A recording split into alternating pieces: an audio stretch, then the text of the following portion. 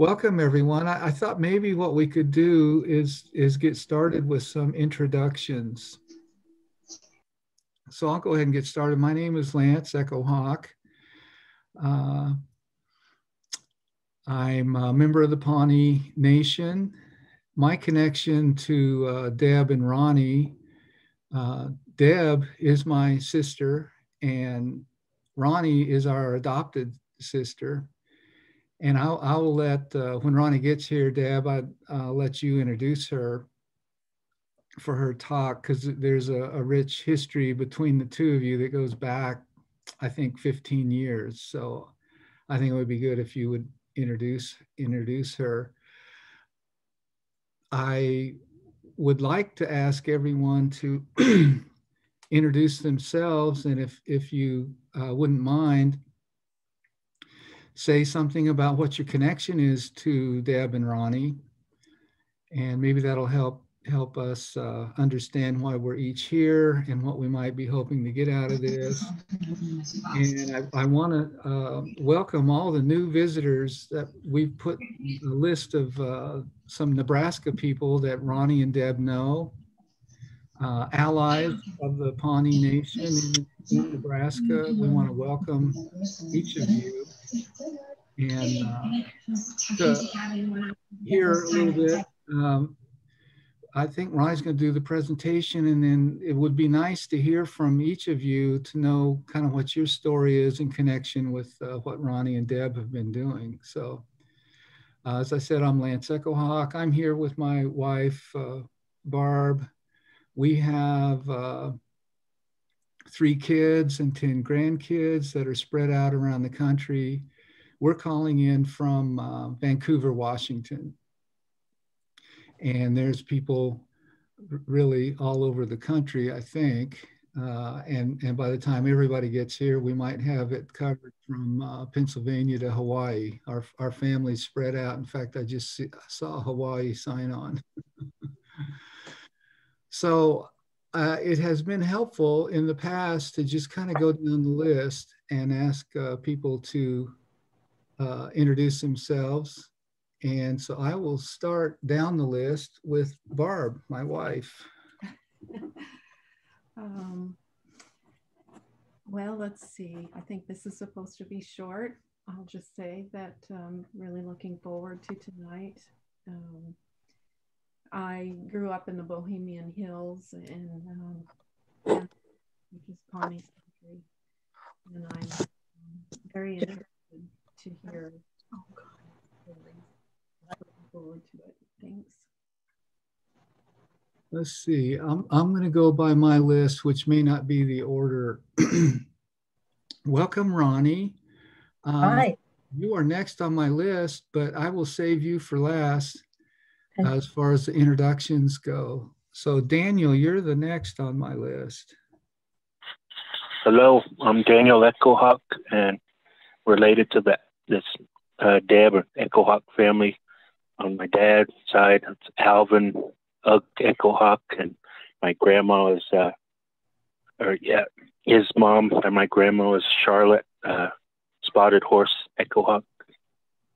That's how I'm related calling in from Albuquerque, and I'm here with my mom again. So, yeah.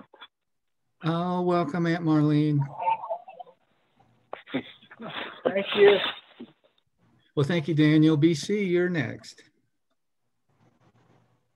Thanks, Lance. So, yeah, I am actually Dan's sister, older sister. Um, my dad was Alvin Echohawk. My grandfather's George, and my grandmother was Charlotte spotted horse chief Norman. Um, and um, yeah, so uh, Deb's my first cousin, as are uh, Lance and Roger and Walter. Um, our dads were brothers. Um, and, you know, I just want to say at the outset, because I might forget it, I don't know, I know Debbie knows this, uh, but we've had a lot of loss in the tribe. I mean, literally one person a day for the past three days uh, mm. two to COVID and one to just uh, age, and um, all elders. So kind of kind of sad here right now because I'm part of the service club, so I get notified you know, and try to contribute, even though I'm far away. I'm in the Chicago area. Uh, try to, you know, at least right now, I don't think we're serving. We're actually trying to offer monetary, uh, you know, support if we can. So I just hope maybe you'll keep the community in mind. I know you, I know folks always do, but uh, right now it's really uh, kind of sad around there right now. Thanks. Well, thank you, BC. I didn't, I didn't know that. Um, yeah, this is this is a tough situation that we're in. I, I am aware that uh, COVID has gone rampant in Pawnee. The the positivity rate for testing is is is pretty high. I can't remember what the number was, but yeah, it's definitely uh, made its way to Pawnee. Well, thank you for for uh, letting us know that. Uh, welcome, Bill. You are next on the list. Yeah, I'm Bill from uh, Central City, Nebraska. I've been with the Pawnee Seed Project for the last uh, six, seven years.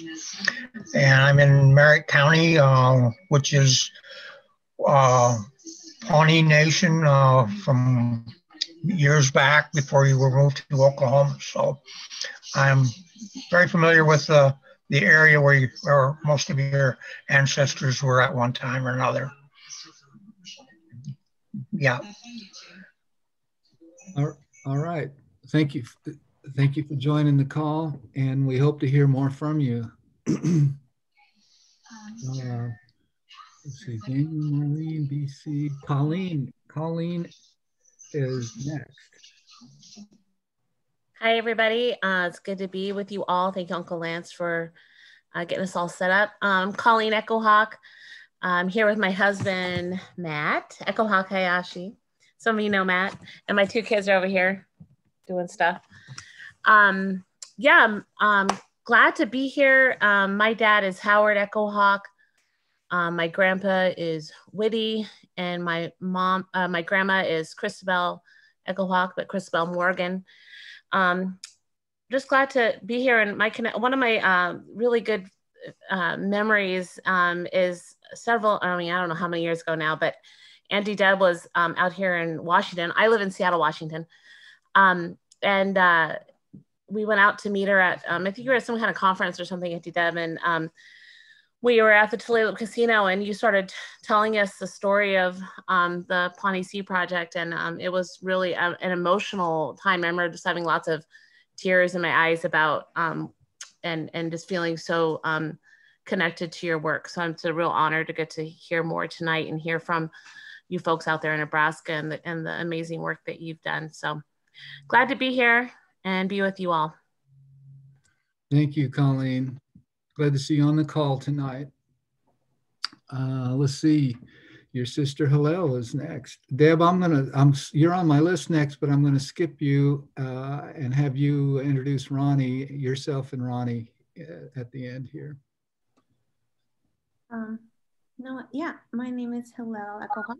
Um, Colleen is my, and um, yeah, our father is Howard Echohawk, and excuse me, um, yeah, like Colleen just said, our our our, our um, grandfather is Witty. and um, I'm super excited to be here. Um, I'm currently quarantining.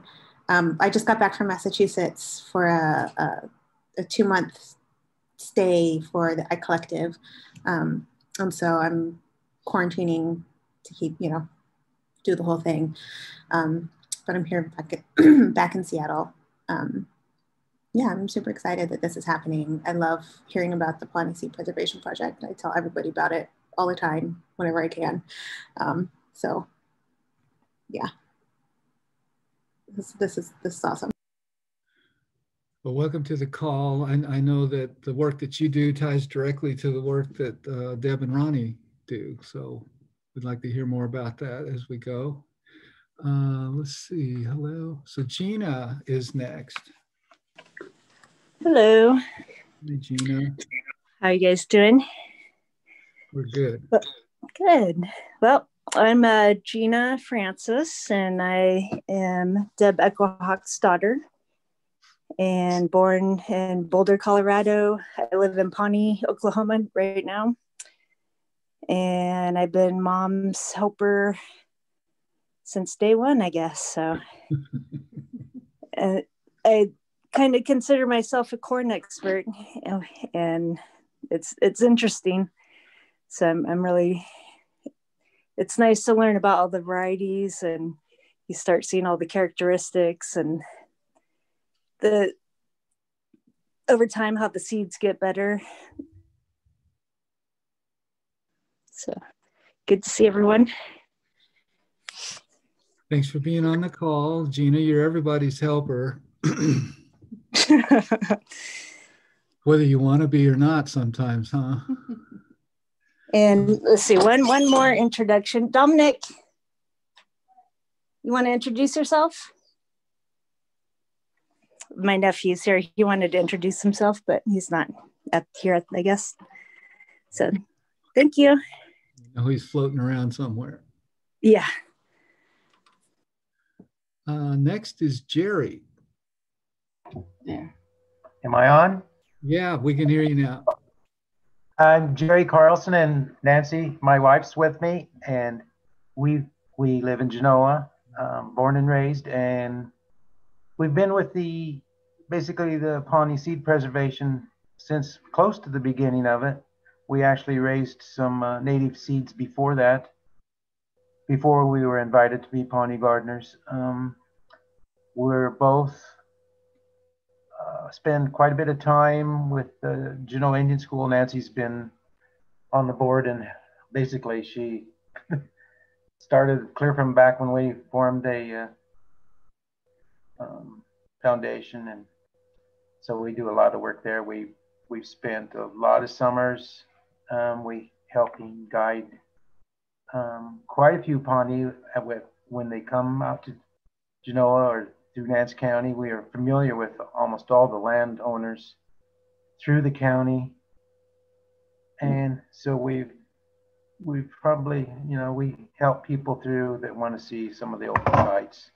Um, and I guess when we started, we it was kind of fun. We were able to. I know I, I worked in agronomy for my uh, whole career, and we I knew the owners that the landowners that had the property that have the property now that the Pawnee ladies planted their corn in when they were still in Genoa. So we were able to actually plant some of the Pawnee seeds in the fields that the Pawnee ladies used.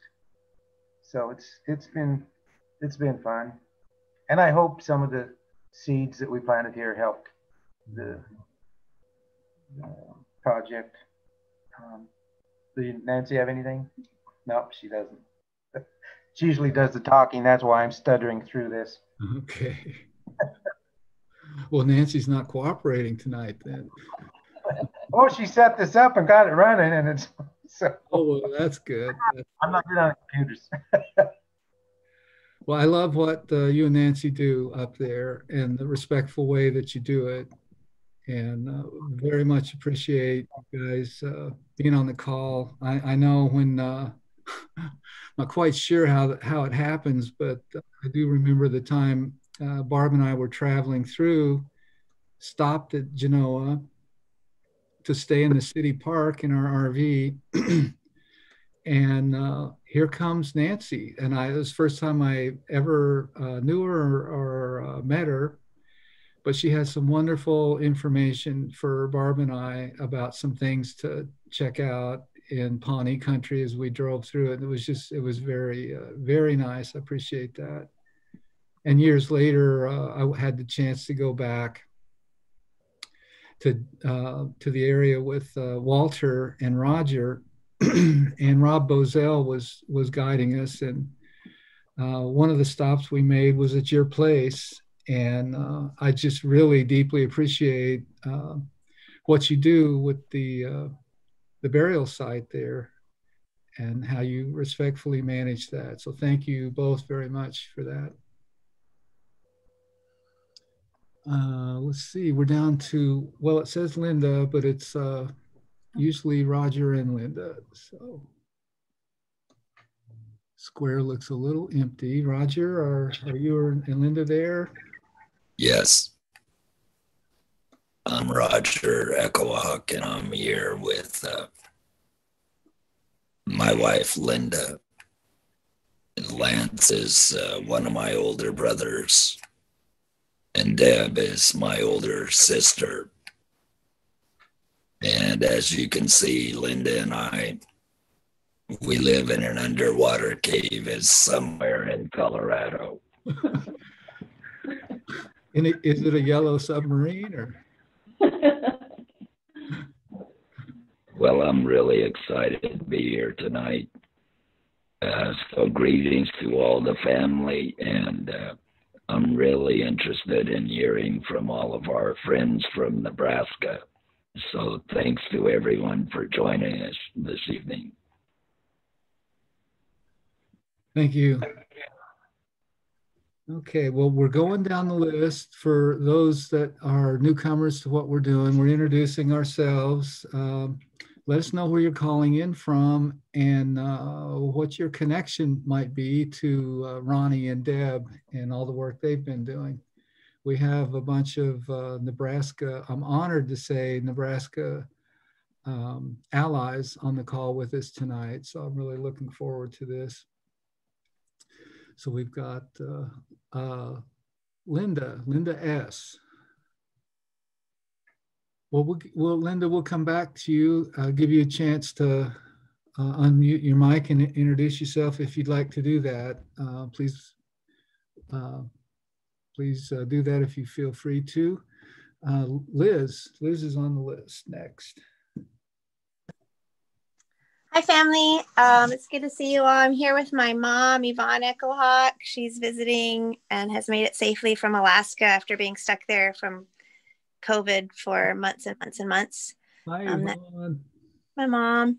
And yeah, I'm the daughter of Yvonne and Howard Echohawk, and um, the siblings to Colleen and Hillel and many other siblings that aren't here tonight.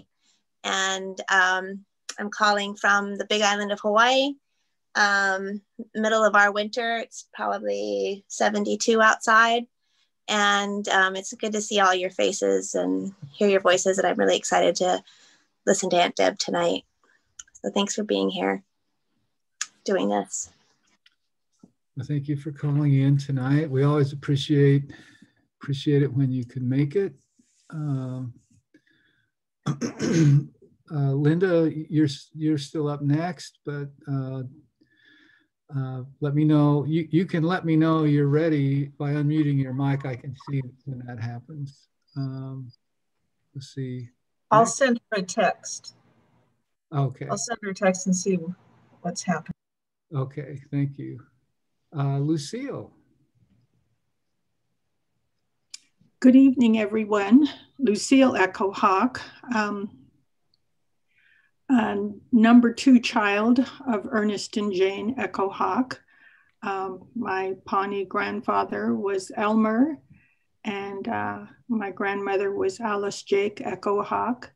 But the grandmother I remember most is uh, uh, Lucille Shunatona Echo Hawk, uh, who I helped raise my father and his siblings. And um, I um, uh, have a daughter, uh, Jewel Marie Little Soldier, who passed away in 2001 and uh, this is a kind of a sad month for our family, uh, uh, having lost uh, a brother this month in 1982, and then my daughter in 2001.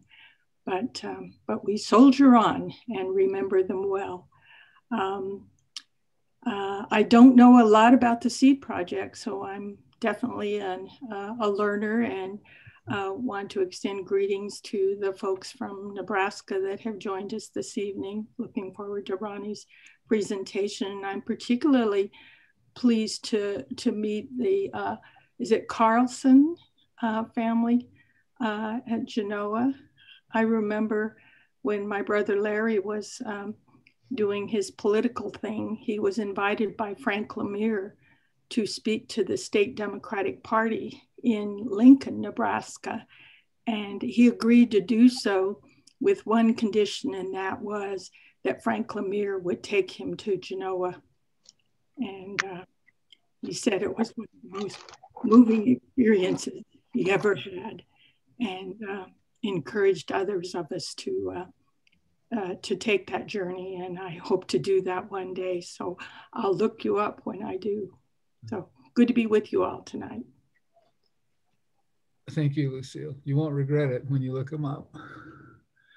Uh, so let's see, we have uh, Nancy Schnell.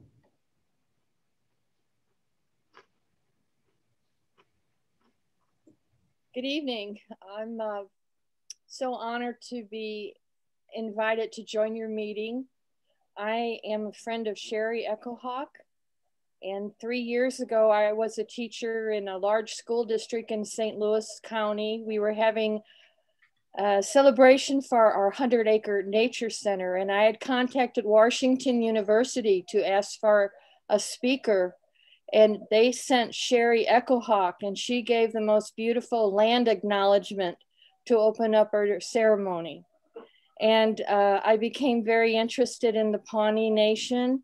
And Sherry has invited me. I was to uh, went to Pawnee Powwow two years ago, and then a great honor. I was able to come and pick corn uh, last year in Nebraska, and uh, it's just I've been reading Walter Echohawk's Sea of Grass, and I just find your family extraordinary, and it's a great honor for me to listen to your story. So thank you.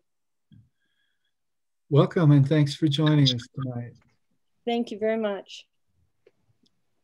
Uh, Sherry, Sherry D. Hi there.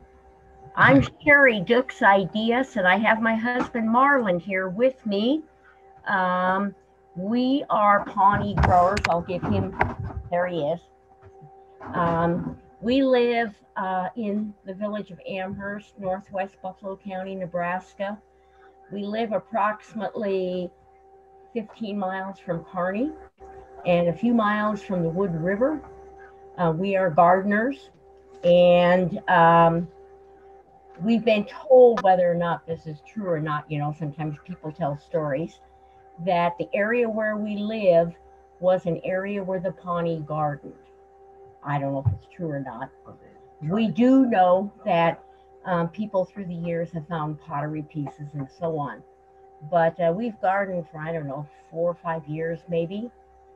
We also have beehives. So my husband is a beekeeper and uh, we enjoy the Pawnee. We really have met a lot of wonderful people. We've taken uh, our pickup or vehicle down to Pawnee, Oklahoma with some of the uh, uh, with some of the things we've grown, and uh, we we just really enjoy doing this. Well, welcome. We we are uh, very appreciative of what you do, and uh, including the bees. If, if I understand things right, the plants need the bees. Absolutely, they do. And Ronnie will ask me to take photos periodically for crop reports. And sometimes um, I've gotten stung as I'm taking photos. You have to be careful. Welcome. Get out of there. Uh, Get out of uh, there. Did your husband have, any, have anything he wanted to add? Want to say anything, Marlon? Well, they taking our corn to the university to have DNA testing done on it that was last year. Ronnie can probably fill you in on more details, but some of the corn we grew uh, went to Lincoln to be tested. All right. Well, thank you for being on the call tonight. that brings us to Sherry. Good evening. Thank you for uh, joining us here on our family Zoom meeting. And uh, I'm really looking forward to hearing the stories from our Nebraska folks and uh, appreciating them taking their time to be with us tonight and um, uh, sorry to hear about our, our elders in Pawnee. Anyway, glad to be here and uh, hope we have a great evening. Thank you. Welcome, Sherry. Thank you. Uh, I'm not skipping anybody on purpose, but every time someone talks, my list shuffles. So I'm trying to keep track of that. I'm going to jump back up the list to Anna. Hello, everyone.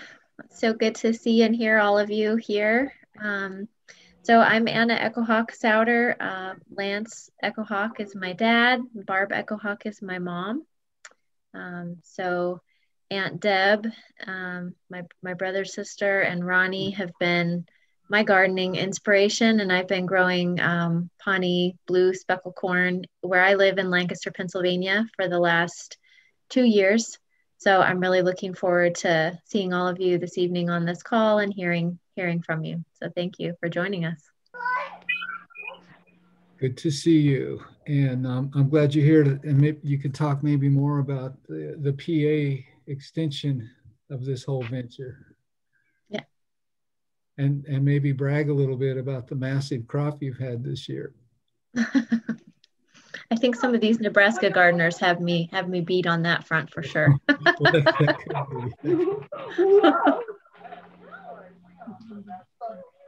Whoa. Looks like Linda, are you unmuted? And... Oh, can you hear me? Yeah, yeah. Yeah, Linda Schleicher. Schleicher. Yes.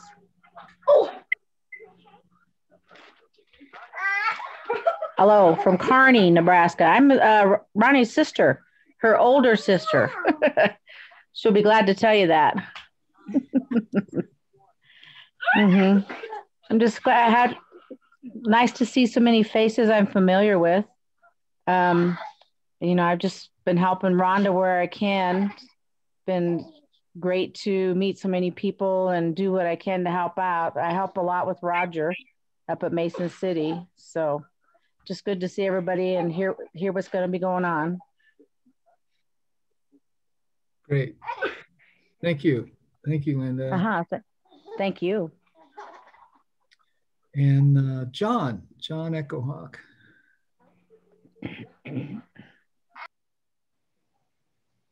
Uh, John, let me know if you if you uh, get unmuted. We'd like to hear your introduction. Um, I'm going to assume there's a technical difficulty. so uh, thank you, everyone. Oh, did Nito? Okay. Uh, got a newcomer, Nito. Uh, Nito, what we're doing is just introducing ourselves, uh, saying where we're calling in from, and mm -hmm. what what connection you have to Deb and Ronnie. Oh, okay. I'm Juanita Naconi. I'm uh, Owen and June's daughter, the second oldest one. And I have my husband Don here with me. Uh, we're not connected to anyone for anything. I'm just here to learn and get what I can. But it's good that everyone has come. And well, that's all. Welcome, Nito. Don, did you want to say anything? No. Uh, okay. That's good. I'm good. All right. Uh, um, a 303 number just came up. Okay, we got a new phone caller, code 303. Uh, what we're doing, we're just at the tail end of introducing ourselves. So if you'd like to unmute and introduce yourself, we're uh, sharing who we are, how we're, uh, where we're calling in from, and what our connection might be to uh, Deb and Ronnie. Oh, that, yeah, I think. Go ahead, John. That's John's phone number. Am I connected now, Lance? Oh, there you go. You Thanks. Are. Thanks. I'm John Echohawk, uh, third uh, third family member from the Jane and Ernest Echohawk family raised out in New Mexico. I got a phone call coming in. Sorry about that. All my uncles have passed away, so I'm the oldest uh, male member in our family. I'm a lawyer and executive director of the Native American Rights Fund in Boulder, Colorado. We're the National Indian Legal Defense Fund, and I've been at it 50 years. We're uh, really pleased to have our uh, uh friends and allies from our uh, Aboriginal lands uh, in uh, Nebraska with us uh, this evening and look forward to hearing from them. All right. Well, thank you, John. Uh, did we catch everyone? I think we caught everyone but Deb and Ronnie. If that's not the case, please uh, please let me know. And I'm sure there'll be some time for some talking and sharing after the presentation because we do want to hear uh, uh, more from everyone. So Deb, I'm going to ask you to introduce yourself and then just turn this over to, to you and Ronnie. Hi. Hi, Deb. Um, I, I'm so happy that everybody's on board tonight to listen to some good storytelling. Um, Ronnie's the best storyteller I know. Uh, and maybe I'm just partial, but um, I I'm just uh, really pleased with um, having her do what she's about to do tonight, and and that's to uh, to talk about the O'Brien stories. Um, that's um, Ronnie's been uh, really close to um, the seeds and uh, has been awesome in working with our gardeners and um, I I really uh, enjoy all the monthly reports that we get and uh, all the sharing um, that the gardeners are impart a lot of their own stories and um, you know growing is is hard work and they have stuck with it um, and there just can't be enough said about that um, that's something that we are uh, trying to foster that we always now that we have our seeds back that we um, will never lose them. And that one day it'll uh, be able to feed our our local community and then some.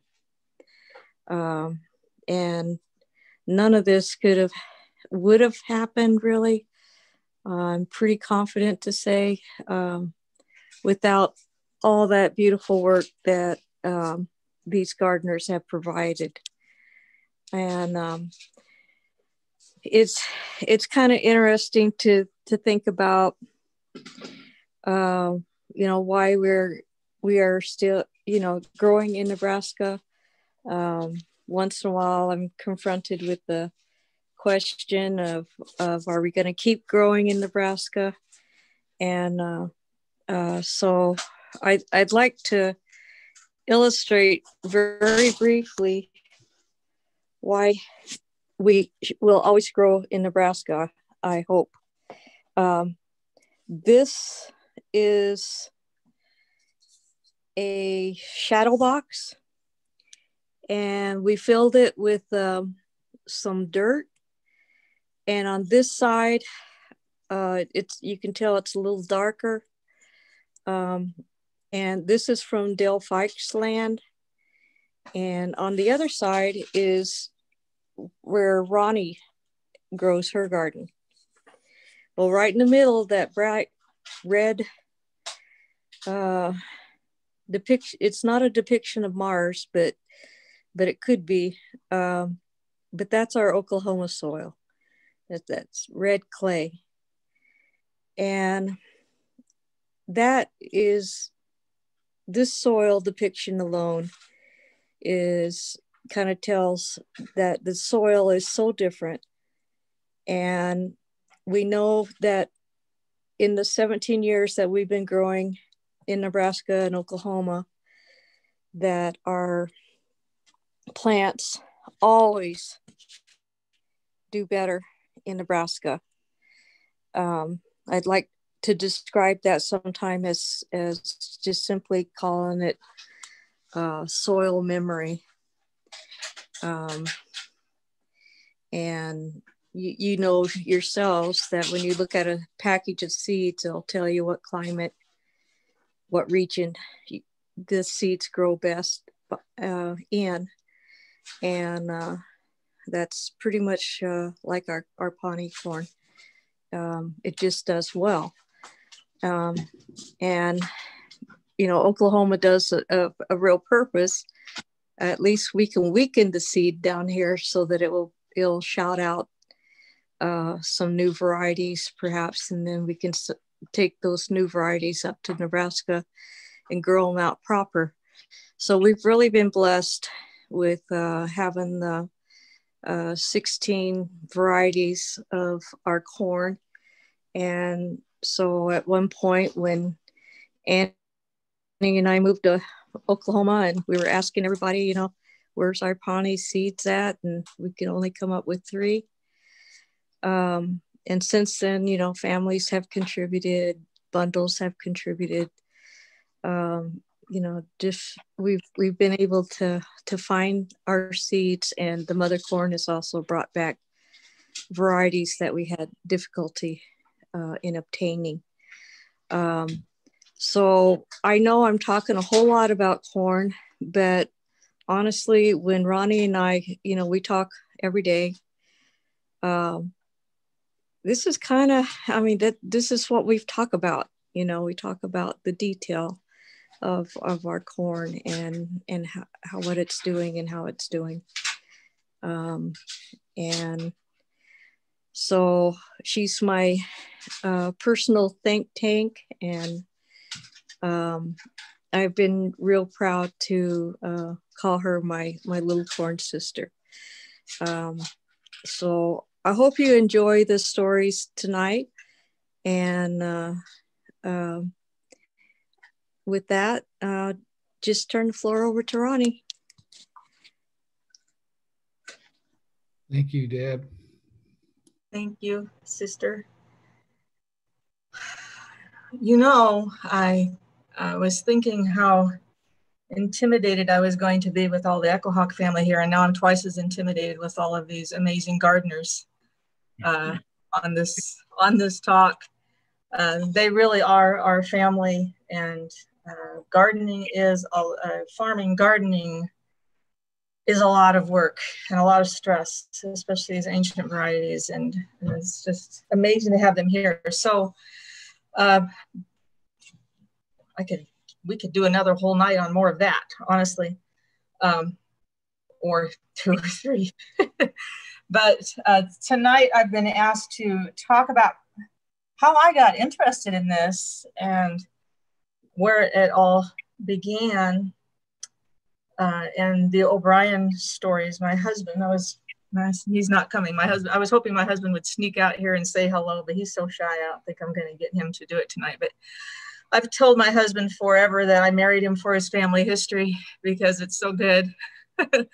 uh, and that goes back to the O'Briens that were very near to where we live. We're, we're nine miles from where they were originally uh, coming back to this area. Uh, they, the O'Briens had left this area of Nebraska, but we've come back. So um, I think to understand the friendship of Edmund O'Brien, my husband's great great grandfather, to the Pawnee chief that he was friends with uh, here in the middle of what is now Nebraska. Uh, I have to go back to Ireland and uh, Edmund O'Brien was 18 years old the day that he fled Ireland because the English were after him. He was a Fenian, a rebel against English rule and their oppression of the English. And uh, fled from his confirmation in the church and got on a ship and came to the United States and never went back to Ireland, uh, running for his life. And understood oppression, understood having to be educated in hiding uh, because they weren't supposed to be educated. So he came to this country in 1842 and helped build two railroads on the East Coast. Uh, he was a teamster and he worked with mules building the grading for railroads. Uh, so he he was a huge muscular, he wasn't very tall, uh, but he was a very muscular uh, and tough person. And met his wife, Ellen Collins, there. Uh, she immigrated from Ireland also. And they went to Iowa first uh, and in Iowa City, Iowa, and then decided to come to Nebraska because some of their cousins were coming out here as freighters to Fort Kearny.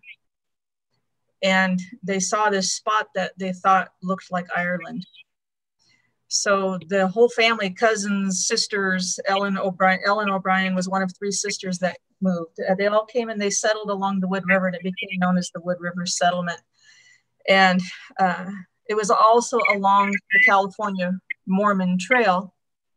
There was a lot going on in the 1860s uh, when they came in 1861. So the, the trails were coming through. Uh, there was no railroad yet. Uh, and they needed a way to survive. They squatted. Uh, that's just, you know, that's what the O'Briens did. Uh, squatted on some Pawnee land. And in the spring of 1861. And that fall was the first time that the Pawnee chief, who they came to know as Many Blankets, came out with his hunting party, uh, about three dozen people and camped right next to where the O'Briens uh, squatted, literally right next to them. And that was where they had been coming out to hunt for uh, years.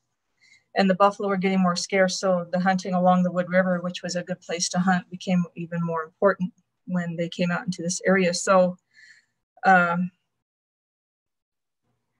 it's it's it's just the way it was. All of the settlers, uh, settlers, they would, as, as we call them, were afraid of what they called Indians, uh, and Ellen O'Brien was no different. She was she was very afraid, and Edmund, you know, this really story this story is really about Edmund more than anything, and Edmund just became friends immediately with this uh, Pawnee chief, Many Blankets, that, he called Many Blankets uh, and one of the first things the chief did for him, being a teamster, Edmund was very good at breaking animals, mules, horses. Um, that was his expertise, but he didn't have any out here. And um, many blankets did. And he needed things. And Edmund had was able to trade with people coming down the trail to get things that he would need and maybe uh, and i'm assuming this maybe could help many blankets out because they were such good friends. And uh, many blankets taught edmund how to break horses using the waters of the wood river and the mud in the wood river in the summertime because it dries up in the summer some summers. It's just a runoff river. Uh, and then he had horses to trade for supplies from people coming down the trails because there was no other source, no other resources for supplies.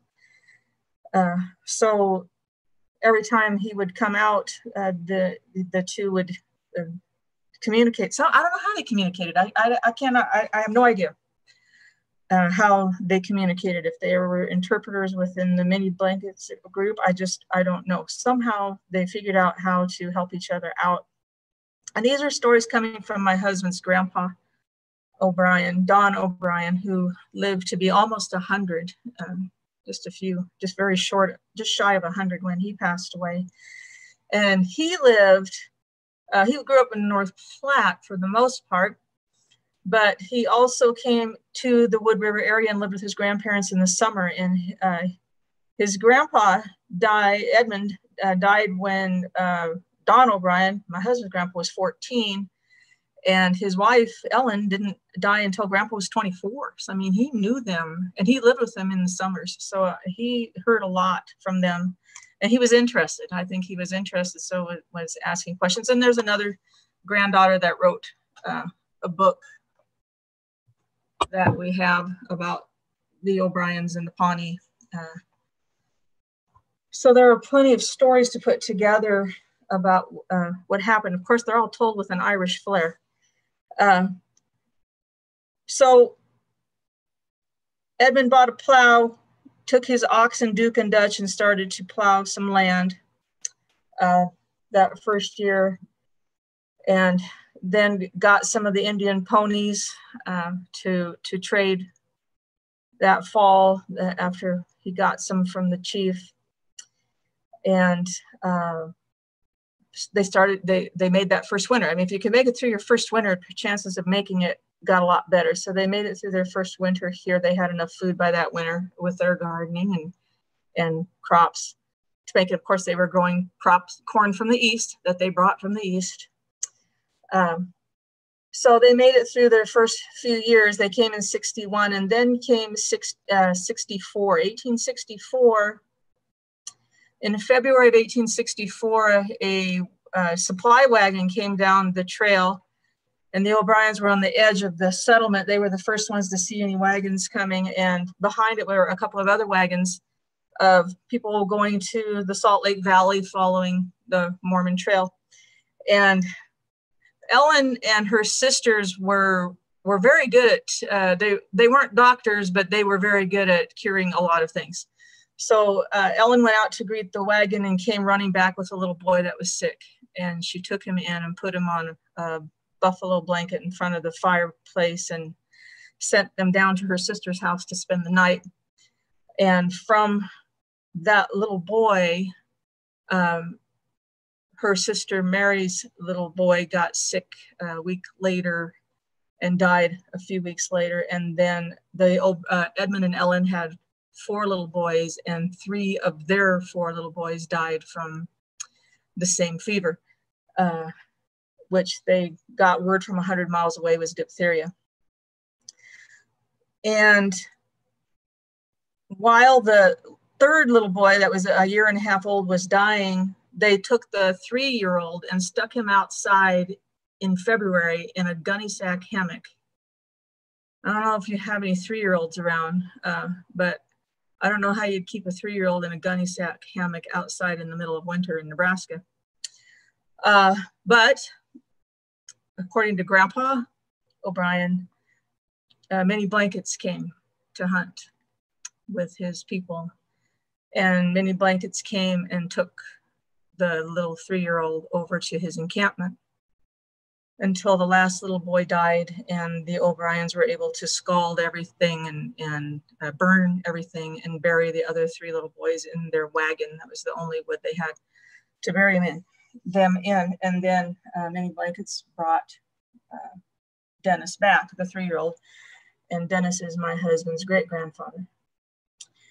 Uh, so Ellen who was skeptical and afraid changed drastically uh, toward many blankets because of what he did for their remaining child. And when he would come out after that, she would, he loved her bread. She would bake three loaves of bread together in the same pan, uh, leavened bread, and he loved her bread. So when they would come out here to hunt, she would bake bread for him and Edmund would take it over to him. So uh, she, so it was something that she could do for him. Um, so she did that for years. Um, and then came August of 64. And if you are familiar, I'm sure Roger is familiar. If you're familiar with uh, August of 1864 in Nebraska, in this area. Um, that was what this, the settlers called the, the big in, the Sioux Indian scare was what, what it was what it was called. And that was when they started retaliating uh, in Colorado, Julesburg, and then started backward down the trail, cutting telegraph lines, uh, burning stage stations and things.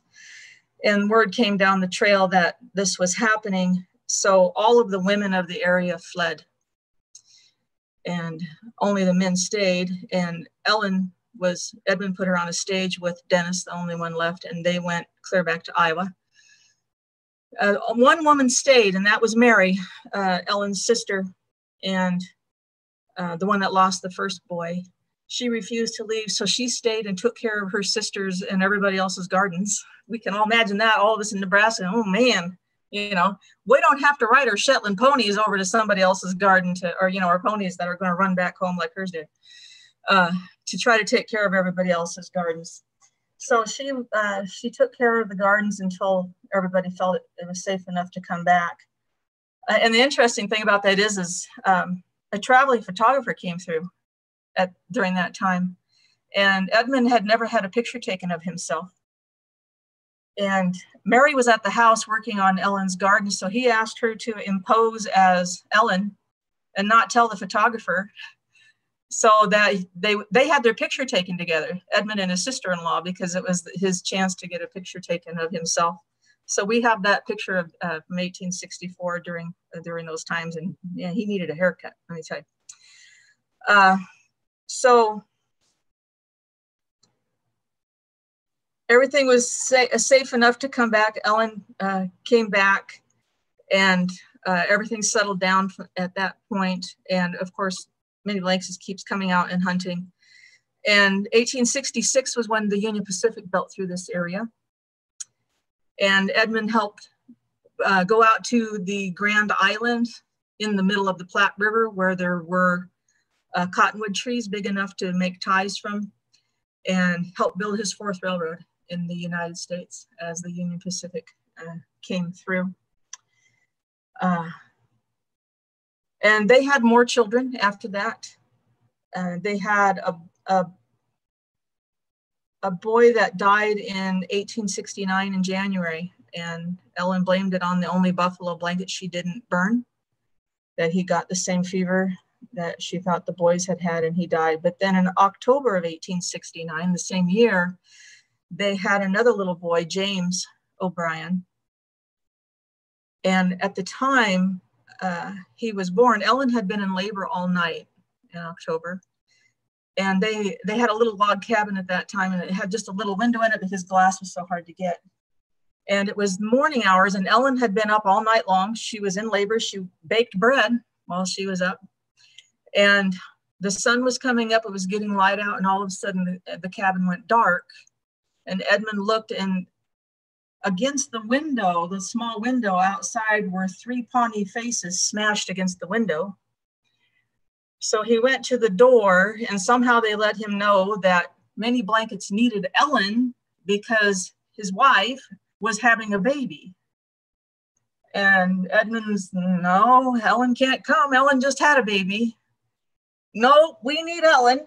You know, we need Ellen's help. She must come. Nope, nope, Ellen's not going anywhere. Uh, she can't help you today. So um, she wasn't able to go. But later that day, Ed, Edmund went over and he took three loaves of bread that Ellen had baked uh, to Chief Many Blankets. And Many Blankets gave Edmund a blanket as a gift for their new son. And these two little boys were born a half mile apart from each other on the same day uh, in October of 1869. And uh, they those two little boys became like brothers. Uh, whenever they came out, they played all, you know, they did everything together whenever Many Blankets was out here. And he actually called him uh, his his Indian birthday brother is what he he called referred to uh, that little boy as. So in eight, in 1874, uh, the grasshoppers came and destroyed everybody's crops and everybody's everything and and uh, ate little Dennis's shoes and left only the buckles and and ate all the leaves off the trees and uh, just destroyed everything. So and I know that really devastated the Pawnee that year also. Um, we've talked about that before. Uh, so it was a sad time for the O'Briens when um, they knew the Pawnee were gone and uh, they didn't know where they were going and, or if they would ever see them again. And of course, they never did and never heard anything about what happened to them. So uh, I, I heard these stories from Grandpa O'Brien so many times over 11 years uh, when I was trying to interview him about the railroad side of the family because my husband is generation five and our son is generation six uh, for the Union Pacific Railroad. Um, and I was trying to get that written down, but Grandpa just kept going back to to the Pawnees. So there was the mindset among the O'Briens that he he made sure I understood that that um, you know most people didn't didn't want anything to do with anyone uh, it, that was Mormon. And if you were the, a friend of the Mormons, you were pretty much outcast from everybody else. Uh, and the O'Briens were. And and Grandpa said we always will be. And and he said, uh, you know, a lot of people didn't care for any any any any natives, uh, but the O'Briens did, and we always will. Uh, and you know, and he said that pretty matter of factly, uh, you know. Um, so, but he didn't have to convince me. So when I was at the Archway and decided it was time to start a program about Native uh, people, I decided that we were in the heart of Pawnee territory and, and um,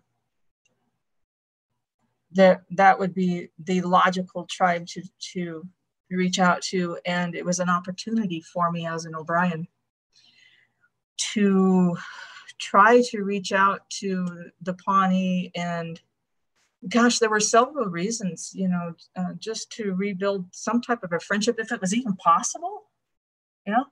You know, it's strange because when I grew up, and, and Linda can vouch for this, my sister, my dad, our, our dad talked about Indians a lot. And it's funny because he's from Palmer, north of Palmer. And uh, he never mentioned the name of a tribe.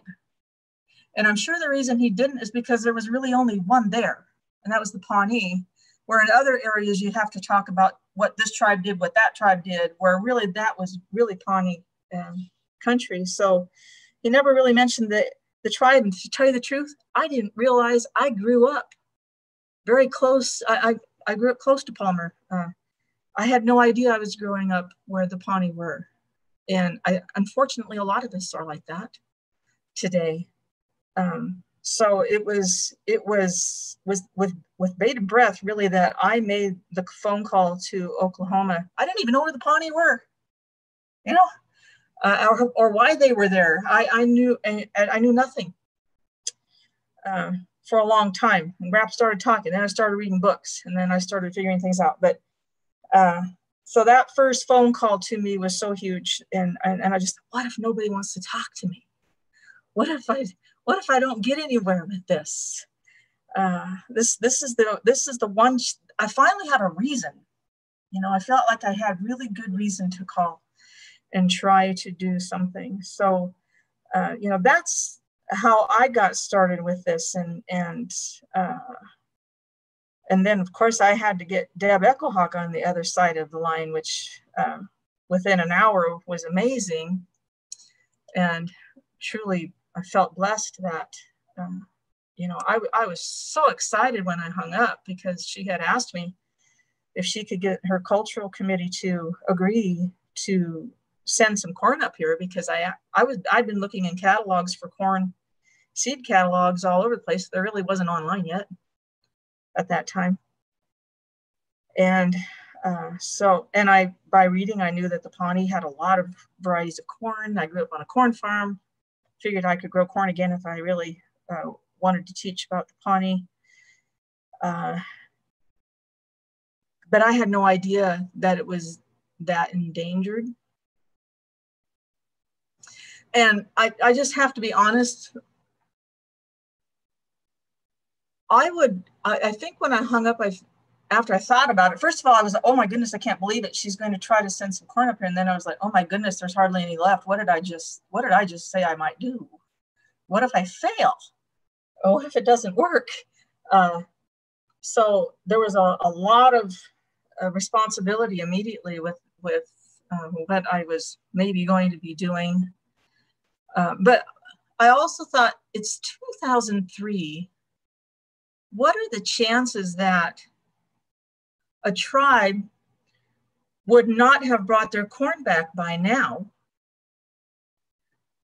And what are the chances that if they hadn't done that, there would be any left at all by 2003? and this whole time since we have started this project and all of these other amazing gardeners have joined us and, and I mean, they're amazing and their knowledge is just incredible in a lot of different ways. Uh, you know, what have we, what have we gotten into here and uh, how do, I mean, I grew up on a corn farm, but that was that yellow stuff that came from the East coast somewhere way back when. And that's all I knew anything about. And uh, I was pretty scared, uh, pretty scared, um, especially if, if it if it didn't work, and uh, and I was the one that made it not work. But uh, I think the the biggest miracle of all, really miracle of all to me, was that the Pawnee kept this corn viable in land where corn doesn't grow well, isn't supposed to grow. For that many generations and that many decades, somehow they kept varieties viable enough because they didn't trade it, right? They didn't give it to anyone, which is how it got to the point it was. But talk about determination to keep something going. Because corn you know, if you listen to the experts, corn should not germinate after five or 10 years. It simply isn't going to grow anymore. But you should have seen somehow those seeds we first got. And uh, Pawnee corn is not like the ordinary corn, it's very extraordinary. So uh, to start with where we were and to have great gardeners with wonderful knowledge, and I've leaned on them along the way uh, also to um, to learn. I mean, we we've all learned. I think we've all been learning from each other, uh, and there's been a lot of learning going on. There still is a tremendous amount of learning with this project. So that's the O'Brien story uh, that has been handed down to us through the family uh, and it, it, it, really has been wonderful to be able to I, I, I just i wish grandpa o'brien was still alive. If grandpa o'brien who told these stories over and over and over could just know uh, and you know uh, that today that the o'briens are working with the pawnee uh, i just i don't know i don't know. He i don't i don't know what he'd do.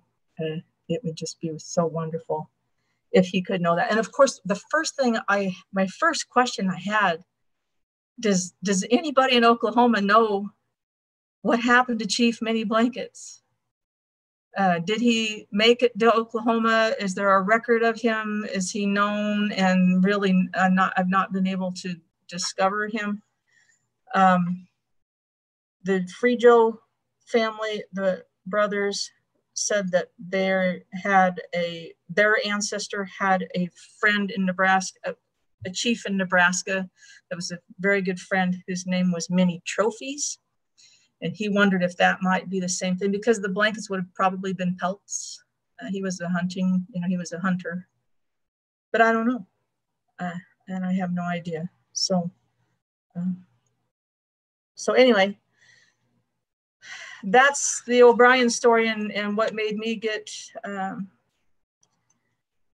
me want to make that phone call and start a relationship with the Pawnee uh, and to and to really bring back. I, I really wanted the Pawnee to help if we put on a program for fourth grade, which is the Nebraska history age, in at the Archway where I was in Nebraska uh, a program about the Pawnee, I wanted to be told by the Pawnee.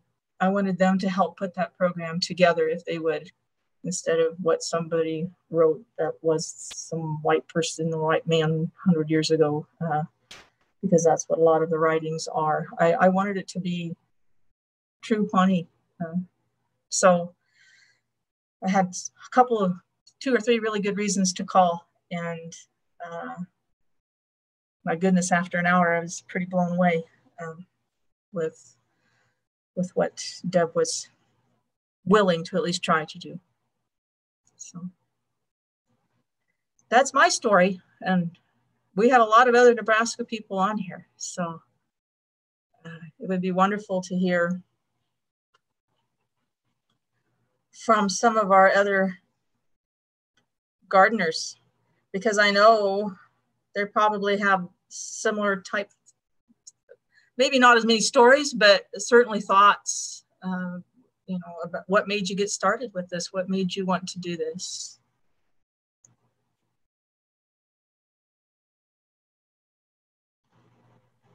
Thank you, Ronnie, for sharing that. Uh, I'm going to assume that you're uh, ready for some people to make some comments. Um, yes. Let me just invite everyone and anyone to add to that story. That's a that's a very rich story with a, a lot to think about and talk about. Uh, and I'm sure there's there's uh, people with something they can add to that.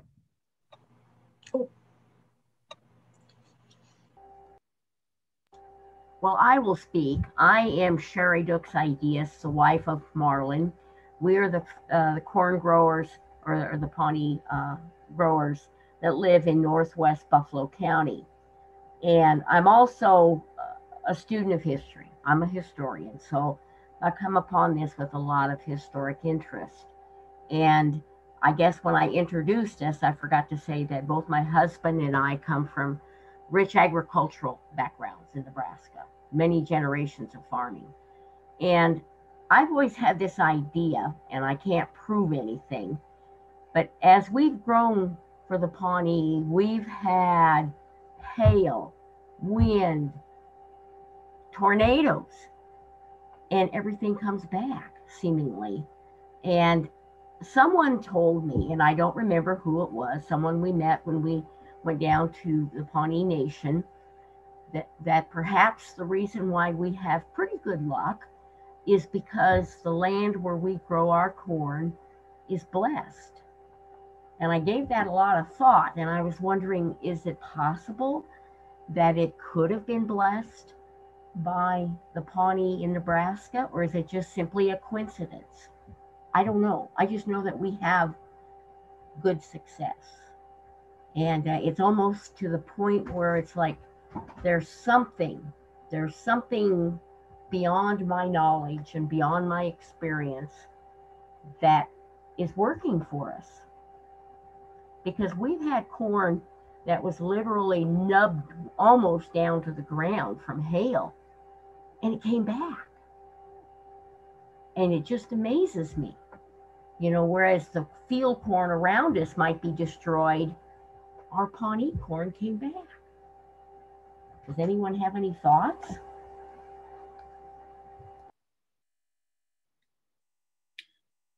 That's a good question. Thanks for posing that. Deb, you want to take that one?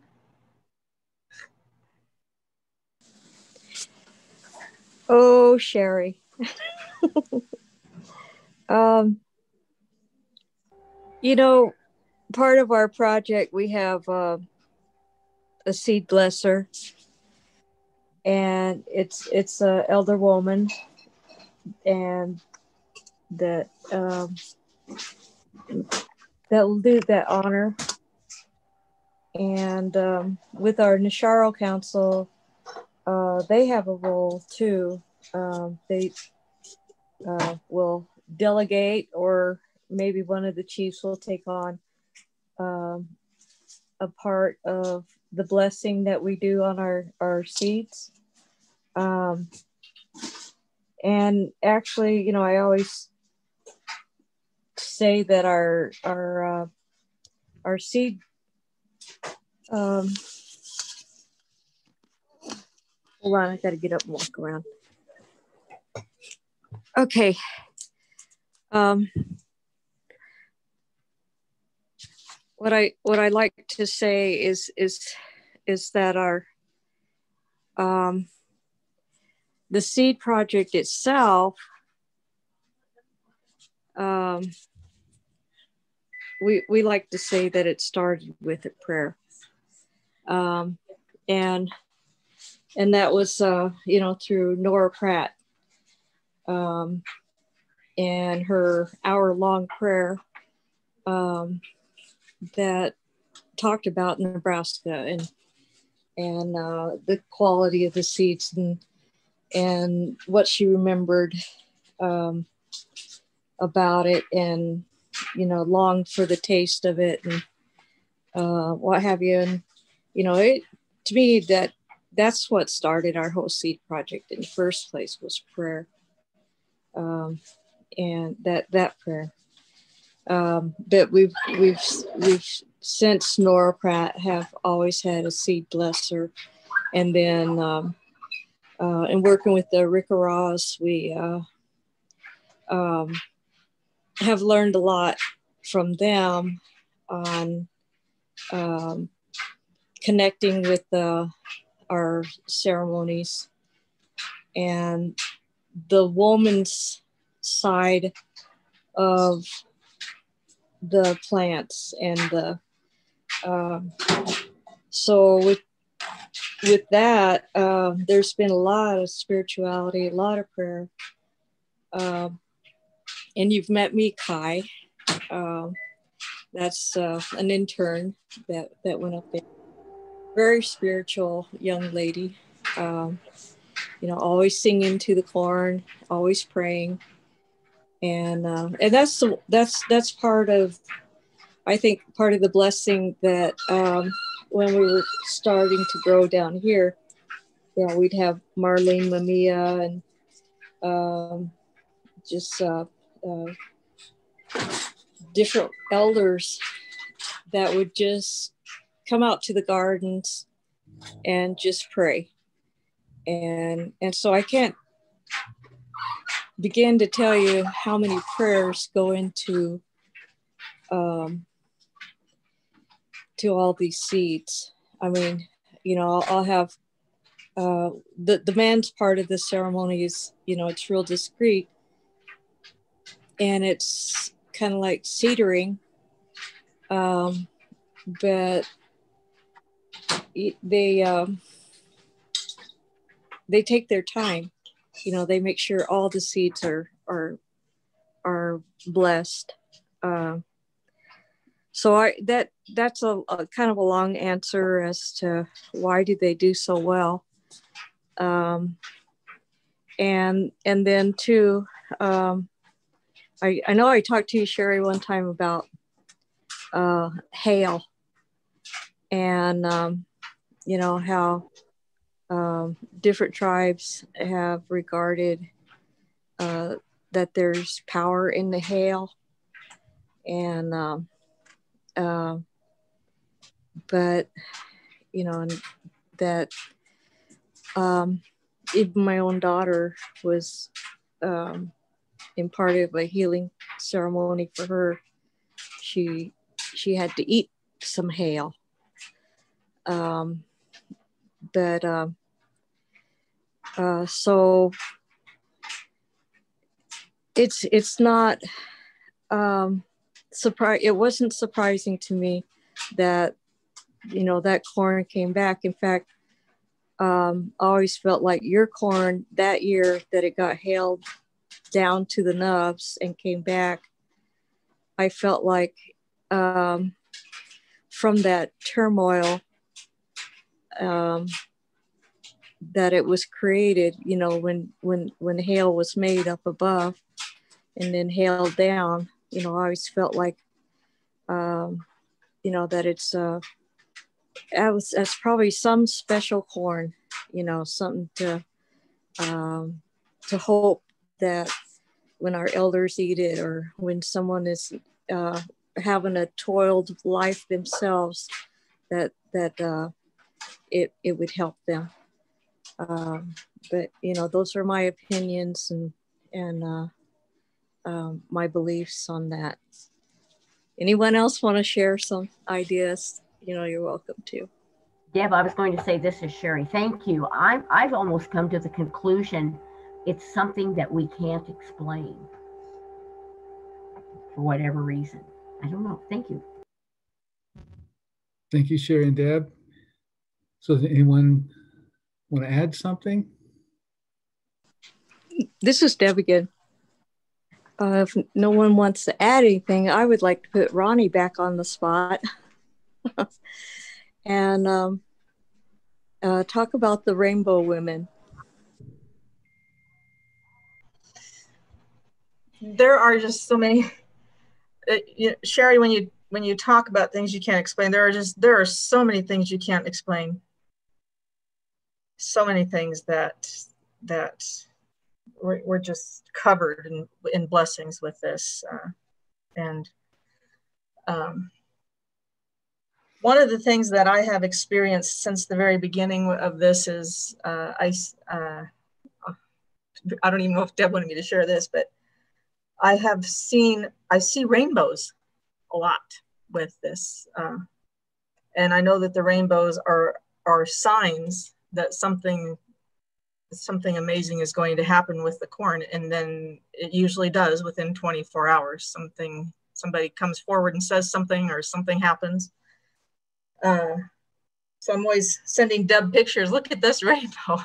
Uh, it's usually double rainbows but i when i was looking for some articles i was looking for a specific article in the palmer journal yesterday couldn't find it. I never did find the article, but I found some other articles that were really amazing. There were a lot of articles written about the Pawnee in the Palmer Journal. And one of them was they a man they interviewed a man that had traveled across this area. Can't remember where he was heading, somewhere else in Nebraska, I think. And as he was coming through, there were Pawnee women working in the fields and they were hoeing and they were bent completely over to the ground as they were hoeing and they looked like rainbows all over in the field. And i thought uh, you know that's perfect. Uh, of course they they looked like rainbows uh, and I, I just thought that was uh, absolutely perfect uh, you know, just there are so many things over and over and over every year. it's just unbelievable. It's just like it's almost like eh, I would, I, I would be completely against ever starting uh, trying to grow the corn here in Nebraska without it being blessed. And I actually, if I had a wish, it would be that all of the gardens in Nebraska could be blessed. Because I because when I see the power that comes from the blessing of the seeds, I think that if the gardens were blessed, it would be even even better, you know. And I know when Mikai was here, uh, and whatever gardens she could go to, she was trying to to do some of that. But um, I I really believe that the the blessing of, of the Pawnee uh, there that uh, you know is so sacred. The corn is so sacred, and and I believe that Atias is working through that um, through the corn with the relationship with with it and is protecting the corn and uh, and is you know that's why all these i mean how can we start with two handfuls of corn and be at 16 varieties now? I mean what makes sense about that? Uh, and when other people hear about that, it's taken us a long time. We're, we've been doing this for 17 years, and these gardeners have been doing it. You know, they've they've been a, an integral part of that happening. But who does that? Uh, who starts with two varieties and winds up with 16? Uh, you know that there's more than just us doing this. It isn't just us. So there's there's ancestors in there. There's all kinds of things making this happen. I do believe.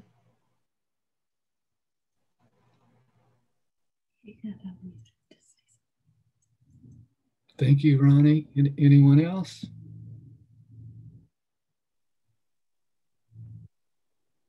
Hey, Lance.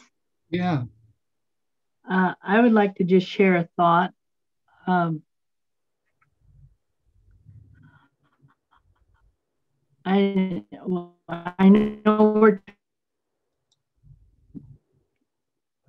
feel that, uh, and this is just from uh, an experience when I had my farm in Asher, Oklahoma, and Grandma Nora Keys had come down to visit. And uh, my husband and I had planted a little bit of little garden in our corral. And while she was down there, I had we had just picked some corn, and she just was really uh, kind of uh, uh, emotional in the sense that she said, "Oh, I, I wish, I wish I had known." And it sounded like that they were very. It was very important to. Uh, I'm I'm assuming maybe pray or be thankful before they pick the first corn of the crop. Uh, that has always stuck with me with my grandma when she was down there visiting me there was just something about uh, something special about picking the corn, the first corn of the crop. But I I would like to say that I don't think it's important to know or that it's a, a, dire thing that we need to know an explanation that there's something greater than us uh, at work with this corn. It's not the explanation, but it's the knowing that I feel is what is important. And that knowing, you could either call it belief or you could call it spirit. I think spirit fits it uh, very well.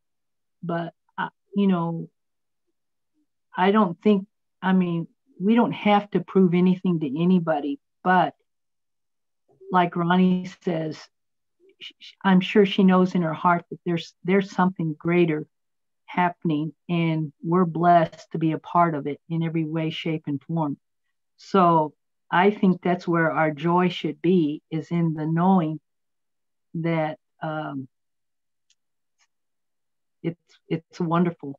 It's wonderful because we do now have that much corn that has come back to us. So that's my thought.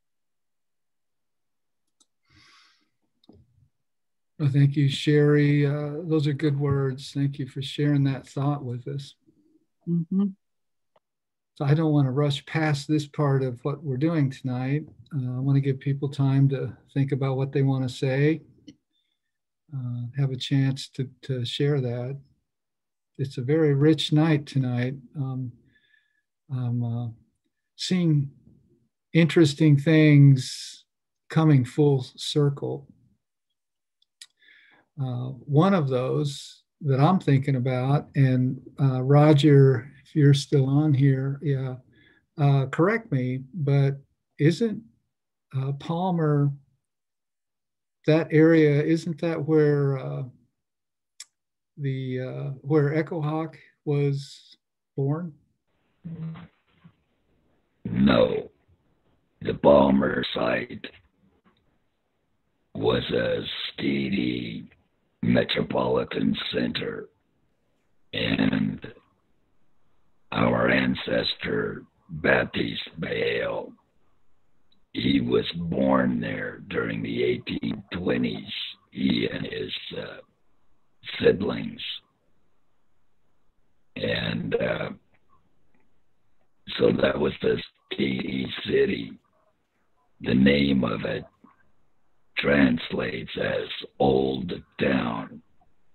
And this is a community name that reflects the ancient history of the people and an ancient community that was located in that area, as I believe, that had that name at the founding of the Skidi Federation hundreds of years ago. And the Skidi founded that community there uh, probably sometime during the 18th century and lived there for many decades uh, because of this association with ancient history. And so the Palmer site, the Palmer location, this was associated with uh, our Skidi ancestors. Thank you. Well, that is still interesting. Uh, although, you know, we by name are the Echo Hawk family, we do look back to uh, the Ski side of our family, and Baptiste Bayhylle is a big figure there. And I uh, wanted to make sure Ronnie knew we have we have family connections there, and uh, and you grew up there, and I just I just thought that was was interesting. It's interesting to hear your story and see those connections and uh, know that you come from a, a, family with a heritage of uh, being allies with the Pawnee. And I like to hear that. Lance, uh, Lance, I have a few comments, if if I may. Sure. Um, not not related to the corn right now, so we'll just call it a maybe like a little commercial or something. But um, Nancy and I have um, started a project. Nebraska has a highway naming program, and we've um, and actually uh, Walter has helped us get this through, and he and he and he's uh, sent us a, a what a proclamation from the Business Council, Pawnee Business Council, to uh, name the highway between Genoa and Fullerton in Nance County. The, the 22 parallels basically the Loup River, the uh, Pawnee Scouts Memorial Highway. And we are going to find out in the next couple weeks if um, it's selected. They only select one highway per year to uh, be named. And again, we're going to find out in a few weeks, so that's going to be kind of exciting. Um, last year, I just found out not too long ago, the they named a highway north of us up in uh, Ponca, up uh, closer in Ponca land, um, the uh, Medal of Honor Memorial Highway. And in the list of the Medal of Honors, they do have the Pawnee um, Scout. And correct me, Traveling Bear or Mad Bear, one or the other, is listed as one as as as a uh, Medal of Honor winner on on that highway. And the last thing um, you were you were talking about the Palmer Palm, the Palmer site, but just to the east of that, if and Lance, I know you're familiar with the uh, um, Horse Creek site, and John Russell and Ethelene Russell have owned that property forever. And John had died a year or so ago, and but sadly Ethelene died just a few months ago, and they were really, really good hosts about letting uh, the Pawnee on their land, and, and John and they both just they really enjoyed um, showing off the the, uh, Horse Creek area, and so I don't know what's going to happen there now, but they were they were really good about taking care of it three little things. Had nothing to do with corn, but. well, thank you, Jerry. Uh, I, I, I don't know if uh, everyone on the, the Nebraska callers know the Pawnee tribe is composed of four bands. And when Roger was talking about the Skedee, that's one of them. And yeah. we, we have ancestors there. And um, your uh, your uh, Jerry and Nancy, your place, you've named it uh, in the Kitkahaki, which is our uh, that's also our our band, and we we look to we I, I think self-identify more with Kitkahaki than Skidi, but we do both. And uh, I appreciate the acknowledgement that you you've done with that. I, I have a question uh, about something that Deb said, and maybe uh, any of you gardeners or Ronnie could uh, address this, but there was a statement made, and I've heard it made before, that weakening the corn has something to do with helping varieties come out of that that one variety. It is part of the process of create, creating, or in this case, recreating uh, varieties that are somehow locked up in that one that gets unlocked in the weakening. Can you say something someone uh, address something more about that? I can start with that one. And anybody else can add. Uh, Jerry's an agronomist himself, so he might be able to add some things to that too. But what we've discovered is that the latest varieties that the Pawnee were working with were varieties that they created from ancient varieties. They're more ancient varieties over hundreds of years. I, you know, I don't know how long it takes to create one. Uh, we're figuring out how many years it takes to go back to one, to one of the more ancient, the more older ones. It takes about seven. Uh, so we're once we start working with them, so we're figuring that out. But so so let's take eagle corn for an example. Eagle corn was brought up with the Pawnee from Central America used to be we said about 12 1250 what we you know what i read was 1250 was about when the pawnee but carlton gover said he found villages dating back to 900 to 1100 so that's longer ago than 1200 that the pawnee were here. So they brought with them the varieties that they had at the time so eagle corn happens to be one that still looks like eagle corn. It hasn't become something else, but mother corn was uh, one of the more ancient ones. So when when they had some of these more ancient ones as they got here, and I, you know, it's a long story, but I am starting to see what's going on with this corn over years, and I can and I can see how I think I know how they were doing it. But it was it's a much longer process than going backwards. Uh, but I, and for a long time, I thought, well, they must be getting some other tribe's corn and they're combining. I think there was some of that going on, but not much. Uh, not not much. I think they were doing it from their own corn, and I'm starting to see what was going on there. Uh, by the reverse process, I'm starting to see what would happen going forward, just from watching it every year. So they we're taking those corns, maybe combining their own whatever, and creating new varieties from it, improving it. When they got to Nebraska, Nebraska is corn country. So coming here, they were able to create strong varieties from what they had, uh, strengthen varieties. And I'm sure it, it grew well when they were in Central America also. And, and then I don't know how the travel happened on the way up here and what would have happened to it. But when you get to unique soil like Nebraska has, things are going unique things are going to start to happen. Different things happen because of different soils. And anybody can comment on that if they want to. But so it was really so we started on this and growing in 2004. And it wasn't until 2017 that we really started to really, really figure out what was going on.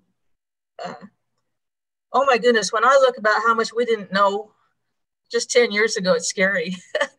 you know, but thank goodness we had Pawnee corn and it was growing because it, you know, it just, it, it loves it here. So, uh, and it's blessed. So in 2017, Will and Hyde were uh, two scientists trying to sell corn to uh, to ag people. And when we found their records and saw what these varieties grew like hundred years ago, and all, and then all of a sudden it was like, oh my goodness, there was a, a yellow Pawnee flower corn. Jerry Carlson, that's those little yellow kernels that we, we, you know, have been showing up, you know, and and Jerry actually gave me this cute little thing made out of beads with what that was white flower corn. It had one little yellow kernel in there because that would happen from time to time we couldn't ex- we didn't know why couldn't explain why but then all of a sudden reading those records we we knew what was going on. So all of a sudden from 2017 when we had eight varieties it's 2020 now and we have 16 because boom once we figured out uh, how to take the strong varieties that the pawnee had here and as they were weakening because we didn't have enough seeds to work with you know, because you should have an eighth of an acre at least to strengthen. Uh, we just have not had enough seeds for years. It's taken a long time. It's been a long process. So we've started weakening in some areas. Some soil weakens the corn more than other soil. Uh, we've discovered that too. So, which has been a wonderful thing. Oklahoma weakens uh, weakens things, and and my goodness, we can get all kinds of speckled kernels now to work with if, if it's grown in Oklahoma. So it has a purpose. And then you start growing them all together and a great example of that is the, to me this year, the yellow uh, flower corn, which is a beautiful lemon yellow and uh, no dents in it. It's just a beautiful corn. We went from first we only had one kernel showing up here and one showing up there. Maybe some years none showing up because Jerry's soil is so good and so is Jerry as a gardener. Nothing, you know, he was getting pure white like he was, uh, you know, he was strengthening that very, very well. But then some years it, get, it would get damaged, whatever. Bug damage causes some of the kernels around it to do things. It took the first time we planted speckled, the first time blue corn was grown in a field, it took seven years worth of seeds to plant three acres. It took us seven years to get enough seeds to plant seven acres, a five gallon bucket of corn. Seven years. From that, the corn turned out, uh, some of it turned out really beautiful, but also there were some speckled ones in there from time to time. And they pulled those out of there, and we had enough to fill two thirds of a pint jar with speckled kernels. Those were all planted together the next year, and that's the process we're using it. Whatever we're able to start pulling out of things, we're able to plant together. And this is the first year then we've had full ears by pulling out yellow kernels over four or five of the last years before that, we've had solid ears of nothing but yellow kernels. The whole ear is yellow kernels. We've never had that before. Uh, and we did it a matter in a matter of only four years this time because we're getting smart. You know, the corn's teaching us what to do uh, just by watching the corn and paying attention to what it's doing. It, it's it's our best teacher. Uh, so it's it's just incredible. It's just amazing. Uh, and because the Pawnee didn't mix their corn with other tribes, I think they did with the Arikara some in the Wichita probably, and and we and some DNA is probably going to tell us that. But other than that, they weren't. They, you know, they weren't really doing that. So the neat thing to see is out of the records in Will and Hyde of all of the varieties of corn they were they had gotten a hold of. Somebody got give it didn't exist anymore but they had grown maybe eight varieties of Pawnee corn back in 1914 and 1915. And those were documented and we had some of them, but as we weakened those, everything, and, and in Gene Weltfish's book, she documents all of the different varieties of corn that the Pawnee had. Everything that we see coming out of this corn that's more ancient than what they had created while they were here in Nebraska, matched what was written in the Weltfish book, Weltfish's book, or what was written in Will and Hyde. There's no other tribe's corn coming out of this. It's all Pawnee, which really says, it proves what the Pawnee have always said all along. We didn't trade our corn. We, you know, we didn't mix anybody else's corn with ours. It's been ours and ours alone and we've kept it. And that's the only corn coming out of this. There's nothing else coming out of it but Pawnee varieties that have all been documented. It's really cool to see. Wow, thank you. Well, we're going to run up on uh, two hours here in just a little bit. I don't want to cut anyone off or rush rush to a close here. Um, we haven't heard from uh, others that I'm sure have something to add if you'd like. Elaine, I would like to uh, thank Ronnie. I met you uh, in Nebraska when Sherry invited me to come last year. And I just want to say that uh, I'm of Scotch Irish descent. And since I've known Sherry, I have come to realize the shameful way the Europeans have treated uh, our Native American people. And uh, it is just shameful, and I'm ashamed. Uh, but what was very profound about your story is that through all those generations, the importance of what a family teaches in attitude. So that 150 something years ago, when Edmund came, they had a positive relationship with uh, the the Pawnee people. That as human beings, things could have been different, should have been different.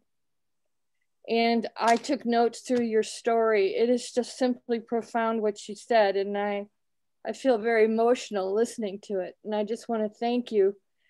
And uh, the um, I hope a lot of people can hear this story and realize the rights that need to be, the wrongs that need to be righted. And to know that you said, were they Mormons? And if so, was that part of the reason they may have had a different attitude than maybe a lot of the other religious people who who didn't show the respect. And thank right. you so much. Oh, thank you. That's that's sweet of you. The the O'Briens were and still are Irish Catholic, uh, but the Mormon Trail was coming through, so they were interacting with the Mormons, which made them pretty much outcast among the other settlers also, because you know the, there was a stigma among the the Mormons just like there were with there was the fear of any Indian. And I'm sorry, but that's the word. Uh, anything you read, that's that that's what what everybody would say. So, um, but Edmund he wasn't he wasn't afraid. Uh, Ellen was at first. Um, he he wasn't afraid of that at all. Um, and I think his background, you know, he fled for his life too, leaving Ireland. And I, I just think that, you know, but there's there's definite commitment. Uh, you know, once you decided you were going one way, uh, you know, there was no going back and as far as everyone else was concerned. So, I mean, you had to make that. Thank you. I look forward to seeing you again. Well, there, there's something you said, Nancy, that I'd like to come back to, but before I um, uh, want to give everyone a chance. Elaine? Yeah. Nancy Nancy didn't mention, but her grandma was uh, uh, full blood Irish. Besides the other stuff, we did have an awesome uh, experience going up to Nebraska and picking the blue corn last year, and uh, um, it was just a, a awesome experience. I, I, don't know we'll ever have another one like that, but I sure hope that the blue corn keeps growing. Did you have something, Hello? Yeah, um, this has been awesome. I don't know how many times I will be able to say it. Um, I'm so thankful that that that this was put on. I'm so I'm so thankful. Um, and now when I talk about the Pawnee Seed Preservation Project, I will be able to, you know, give more detail. I will be able to, you know, talk, just talk even more about it. Um, when I was in Massachusetts, I brought um, some uh, corn and people were like, "Oh my gosh, I've been trying to get this." I've been like, because I, you know, you I, gave it, I brought it for for giveaway, and people were so happy. They were like, "I've been reading about this. I follow it on Facebook. I, you know," and they were just like so shocked. And I was like, "Well, you know, now you can try what you've been reading about, and hopefully, you know, support the seed project even more." You know, and it, it's I'm, I just, I don't even have any more words. This has been so wonderful. Yeah.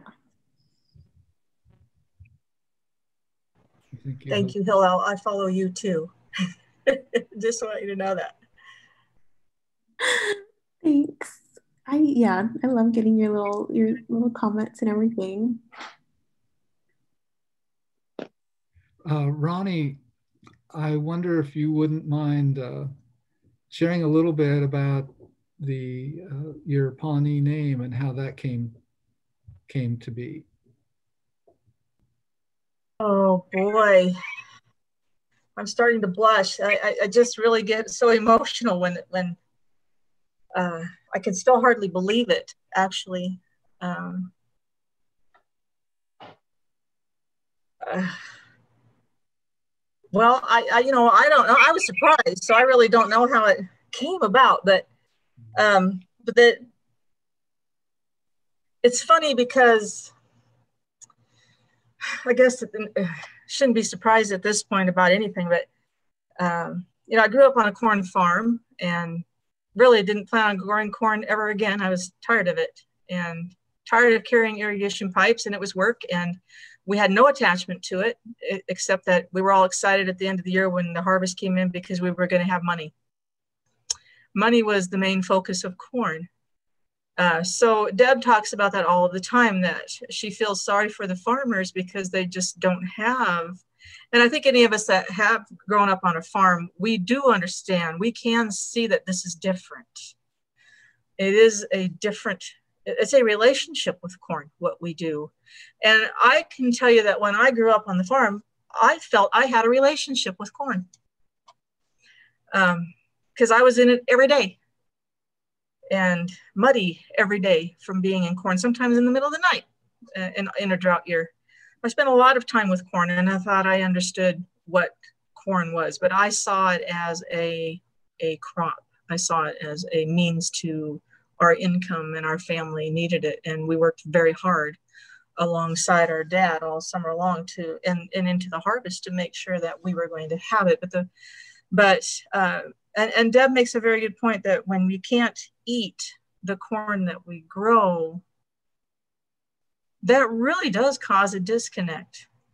And uh, yes, I think there's this, the relationship is still there. And if I were to ask any farmer today if they feel strongly about a relationship with the land and growing and and and their corn they would say oh absolutely and i agree that they do but the the level of relationship doesn't compare and for me to go from someone who didn't even want to look at corn again because I was tired of my, you know, my face was getting sliced every summer. We were carrying irrigation bin, my arms were getting sliced, uh, and it was hard work. And all of our other friends were swimming and stuff, and there we were out in cornfields, and we'd go and detassel corn, which happens in Nebraska, and, and we'd get off at noon. We'd go at five in the morning, get off at noon, and we'd be absolutely exhausted, and everybody would go home, and we'd go home and irrigate. I was tired of corn. Um, and my name in the tribe, Adadi Natis Kitty means little corn sister. You could have never told me that I would ever have the name Little Corn Sister when I left the farm. I never grew corn again, not even sweet corn, until I started growing for Deb. Uh, and what a changed person I am because of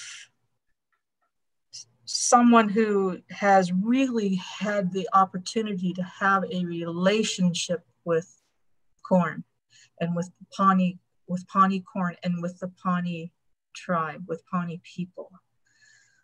Uh, I have grown immensely because, and I know the other gardeners would say the same thing. I mean, you can't be a part of this and not just, and, and, and be involved with the Pawnee culture. Uh, and a lot of the gardeners have been down to Pawnee. Uh, I think most of the people that are on the phone right now, if not all of them, have been down to Pawnee. Uh, yeah, I think everybody has been down there. Uh, so, you know, and when when we had the, the the night that Amy was on and Deb was on and Deb talked about how she feels when she comes to Nebraska and what that means to her. And then Amy said, you know, I think it's important that we focus also on import, how important Pawnee, Oklahoma is to people. I get that same feeling when I go to Pawnee that Deb gets when she comes here. and I just think it's uh, these two. It's it's a part. It's it's a relationship between those two places, Nebraska and and Pawnee, and I'm sure the gardeners would say the same thing, or they or they might say the same thing. Um, but I I guess I never even I, I, I know I never even gave it one thought, not a single thought that I would ever have a Pawnee name. Uh, because that's not why I do what I do. I do what I do because it's the right thing to do. Uh, and it's important. Uh, it's not only important to the Pawnee, this, what we are doing is important to Nebraska because I think Nebraska needs healing through this. Uh, because all of us who know the history of what happened here and are descendants of people that settled in Nebraska have to feel the same way when we when we hear about it about what happened. I didn't hear about it for so long and i wonder how many people other people have it. And you know there's a responsibility there too. We, we need to educate people. But i i just think that uh, there's a lot of i feel i've had a lot of healing through it. Um, and hopefully there will be other people in Nebraska and, and other people, you know, hopefully in the Pawnee um, that will also, and hopefully that relationship's going to get stronger. And uh, I just, I think the name, um, the the fact that I that I was given a name, I, I just still can't even believe, uh, you know, because there there've been so many people a part of this. I've only been a part of everything. Uh, so it's uh, I don't know. I'm still pretty speechless about it. Don't know what to say because uh, it's hard to feel that you can deserve something like that, you know, because I know those that is not done lightly within the Pawnee Nation.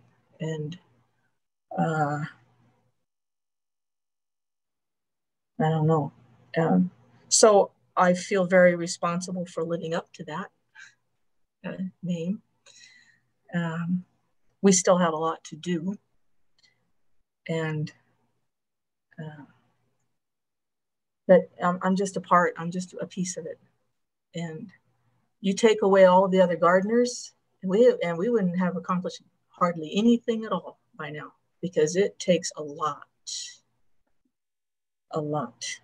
So if i was the just think if, and i think about this all the time if i was the only one that was ever working with pawnee corn we i'd be where we were like 13 years ago.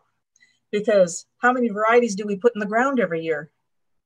Uh, 10 i i don't have room.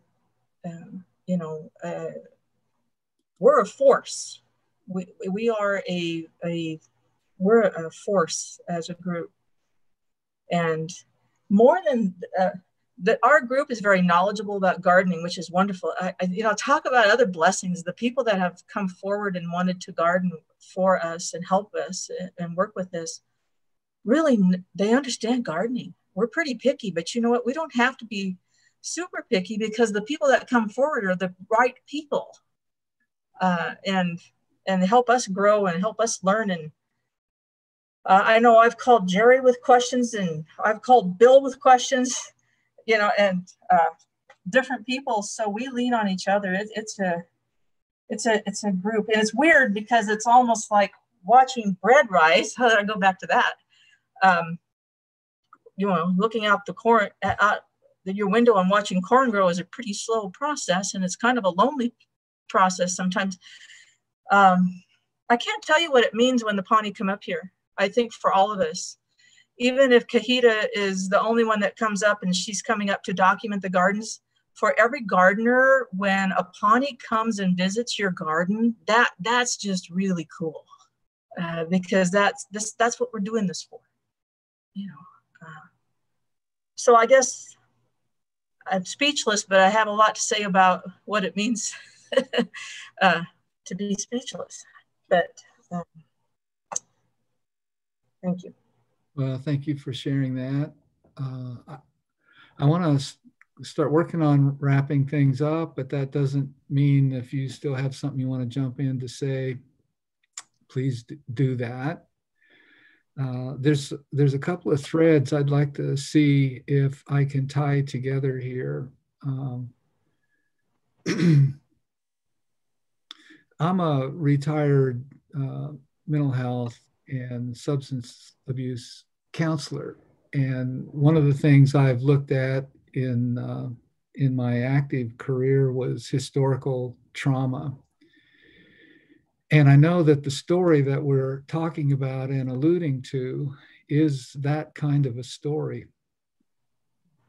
So I want to point out that uh, there's two sides to pretty much every coin. And on one side is the trauma, and on the other side is the resilience and they both need to be taken together. And I was interested in hearing about the uh, the corn.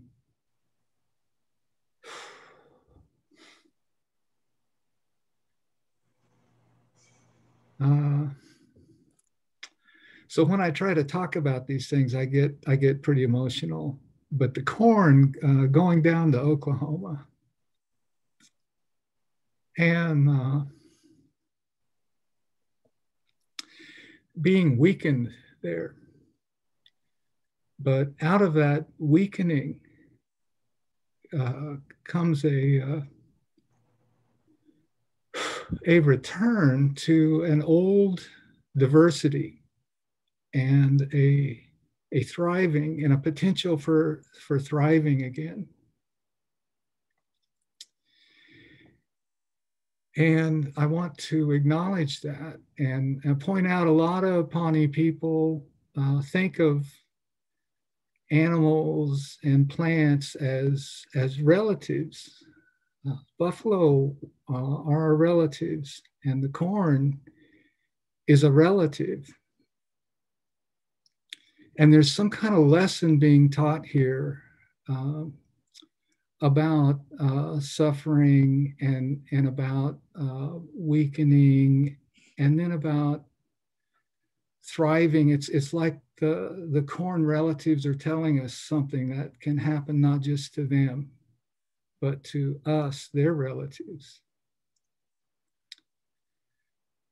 So there's a story here. If I had to, if I had to point to say, what does reconciliation and, and uh, healing look like in a boots on the ground, practical kind of application way? I would have to say, I can't find a clearer uh, example than this. Uh, Ronnie's your legacy of coming from a family of allies and your your work today of and Deb's work, your joint work of uh, creating a network of allies in our very homeland.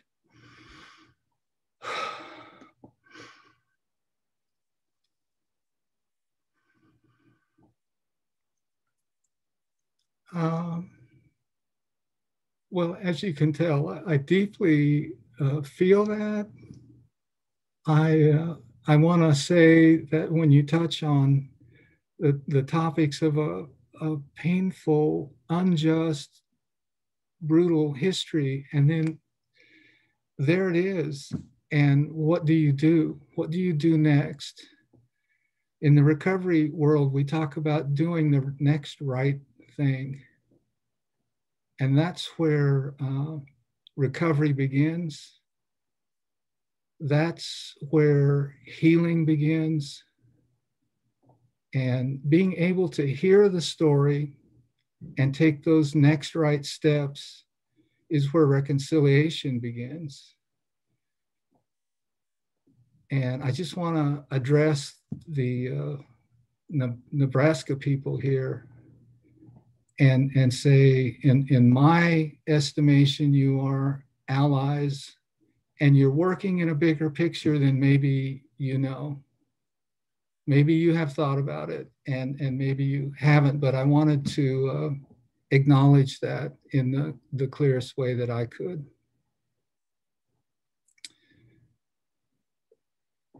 So uh, that's my thanks to you, Ronnie, uh, doing what you've done, sharing what you've shared, and uh, everyone that has shown up to participate in hearing you out. Uh, there's there's a, a, very beautiful story. Writing a different end to a tragic story is always beautiful. So thank you. Thank you all.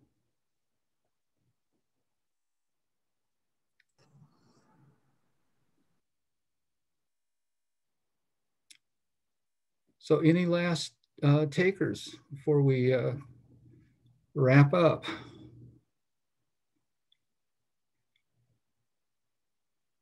Well, I appreciate everyone uh, taking the time. My timer says uh, two hours and 16 minutes, so I appreciate the investment that you've you've all made. And uh, I, I guess we'll keep it at that, unless Ronnie or Deb, you have one last thing you want to share with us.